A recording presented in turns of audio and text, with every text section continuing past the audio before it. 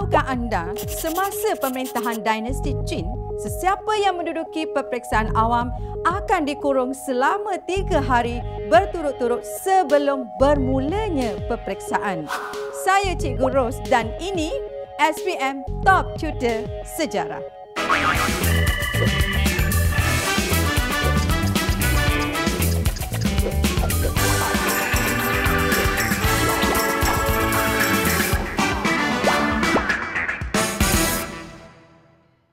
Topik peningkatan tamadun merangkumi tamadun Yunani, Rom, China dan India.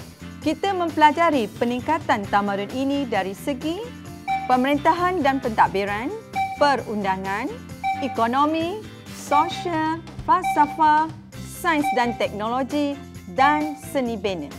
Dalam episod ini, kita akan memfokuskan kepada tamadun China terutamanya semasa pemerintahan dinasti Qin. Ini gambaran Syekh Wang Ti, Maharaja pertama negeri China. Beliau merupakan pengasas dinasti Qin, seorang pemerintah autokratik. Beliau sentiasa tegas dan mempunyai kuasa yang mutlak. Ada beberapa perkara penting yang perlu diberi perhatian dalam pemerintahan dinasti Qin. Pertama, sistem pentadbiran berpusat. Zaman Empire merupakan zaman berlaku banyaknya peperangan dan perluasan kuasa sehingga dapat disatukan di bawah pemerintahan berbentuk sistem pentadbiran berpusat. Kedua, konsep raja bertukar menjadi maharaja. Pemerintahan maharaja membolehkan pembentukan sebuah sistem pentadbiran atau birokrasi awam yang terdiri daripada pegawai yang dilantik oleh maharaja. Ketiga, pelantikan pegawai dalam birokrasi awam melalui sistem peperiksaan awam. Jawatan kuasa perkhidmatan awam dikenali sebagai Hon Ko Su, pelantikan pegawai-pegawai berasaskan pencapaian dalam peperiksaan awam. Keempat, sistem perundangan falsafah legalisme. Sistem ini diperkenalkan oleh ahli falsafah bernama Han Feizu. Mengikut falsafah legalisme, undang-undang yang tegas dan kukuh dapat mengawal tingkah laku manusia. Dan yang kelima, pembinaan tembok besar negeri China.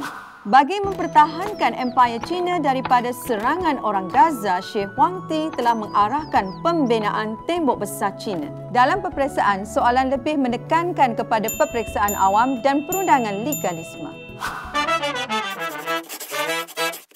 Gambar ini merupakan peperiksaan awam yang dijalankan pada zaman tamadun China. Apakah hukuman kepada mereka yang didapati meniru? A. Dibuang peperiksaan B. Dikenakan hukuman mati C. Dikurung selama tiga hari D. Digantung peperiksaan Sistem peperiksaan awam China sangat ketat.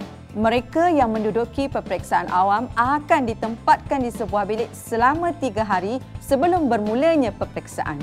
Jika didapati meniru, mereka akan dikenakan hukuman mati. Jadi, jawapannya ialah B. Soalan struktur pula seperti berikut. Berdasarkan jadual ini, namakan prinsip sistem perundangan X satu markah. Berdasarkan jadual itu dan soalan-soalan seterusnya, jawapannya ialah falsafah legalisme. Mengapakah undang-undang ini digubal? Dua markah.